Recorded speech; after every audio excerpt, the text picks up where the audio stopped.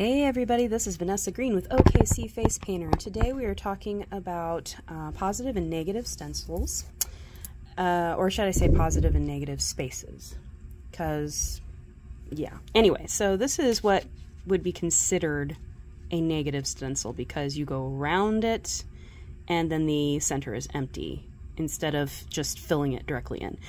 But, as you can see, there are several positive spaces in it to give it detail um, but I'm going to show you how to give it more detail.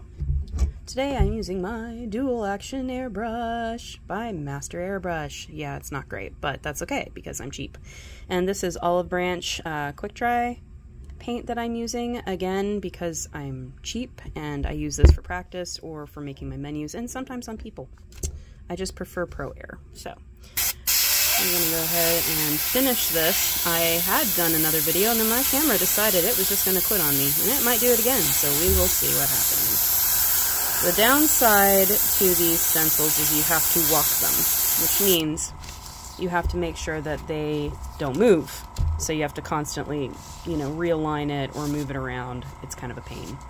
All right, so I'm gonna show you how to add a little bit more detail with the stencil you have rather than having to pick up special tools. So I'm going to add a little bit of shade work right here for his gun barrel. I'm doing the other side too. Okay, see? Look at how that stands out. And then we're going to separate the sight right there. And I'm going to use this right here. Ah, see? See how much detail that gives? Okay. Then his fingers are kind of like not quite very detailed, so I'm going to go ahead and use his head. Ha ha ha. To give it detail. Now, this is not a necessary step. None of these are necessary. This is if you really want to make it look phenomenal.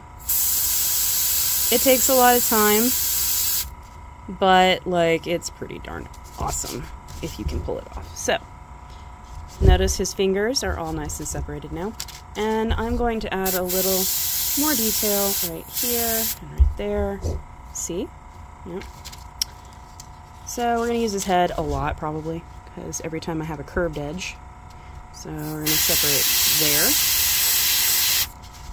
and here. You don't need much. Look at that. See what that did? All right, now we're gonna go here, okay? So I'm going to, let's see, there, look at that, okay? And here. Yeah, see? Makes a big difference, doesn't it? We're gonna go down here. We're gonna separate these two spaces like that, and then I'm gonna add a drop shadow right there. See that? All right, now we're gonna do it over here. See, with these, you can make it look like it's 3D if you really want to.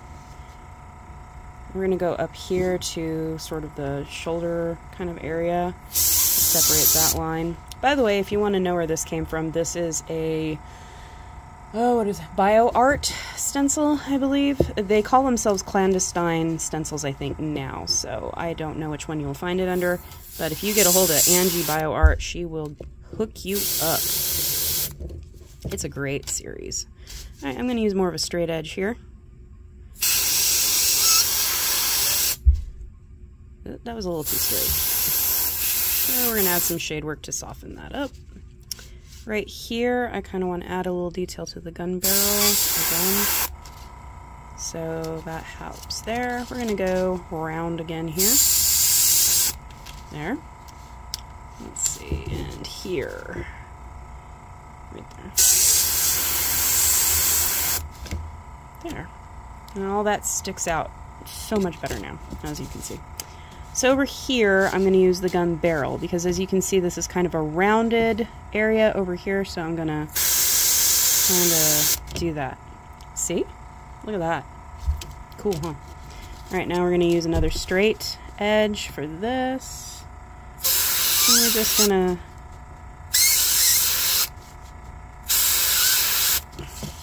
do that. I'm going to do a free line here.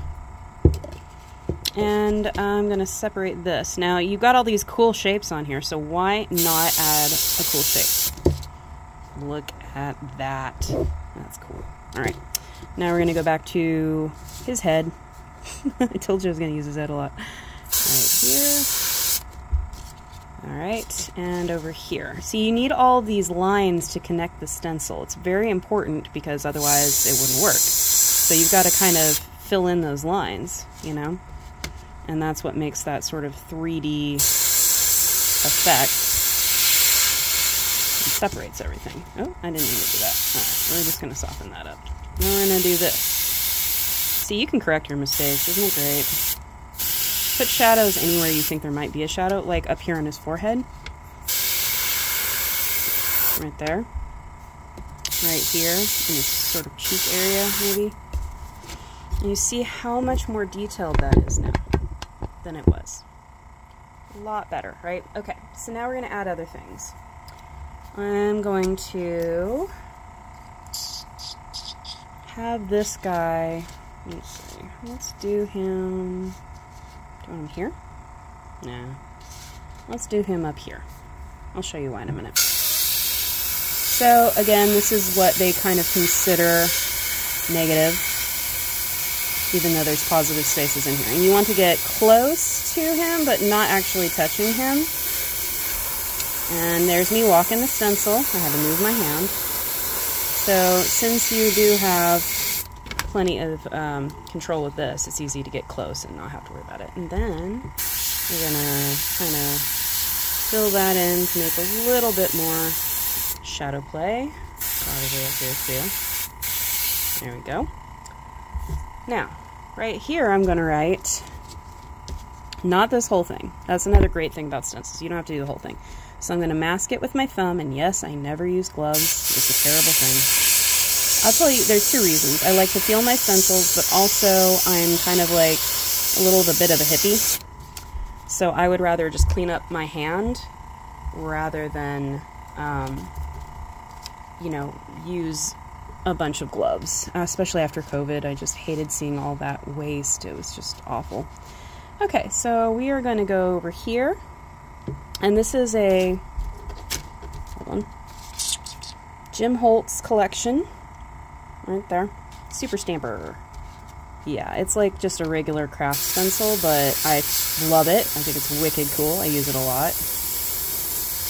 So it gives kind of like a gritty outline, which I love. And let's just go ahead and kind of bring it down here too. So it looks like it's continuing. See? This is the way. Um, oh, and this stencil I don't know where that came from. This is why it frustrates me when stencil makers do not mark their stencils. I'm sure you can find something similar anywhere. Alright, so down here, I was practicing this, so we are not going to worry about that. But here is a an actual negative space, it's part of the stencil. When you're just, or no, this is, sorry, this is, this is positive. I don't know what I'm saying. Okay, so this is a fully positive stencil. Oh, see, it's confusing for me, even. Now we're gonna do this. And since we have the control, we're gonna do this thing where you can just ride the edge and then you have like this sort of shadowing effect. Oh, hey. Sorry. I forgot his mouth. And his chin. And his eyes are already messed up, but that was because I already had that thing there. But you get the basic idea. So now, we're going to continue this sort of look down here. Just so it has kind of, um, what's the word I'm looking for? I want to say symbiotic, but that's not right just looks good. We're going to leave it at that. So, there you go. For positive and negative, you kind of see where that's going. Outlining versus filling in. And you got to see how to add details. That's really important. So I hope you enjoyed that, guys. Talk to you later. Have a great day.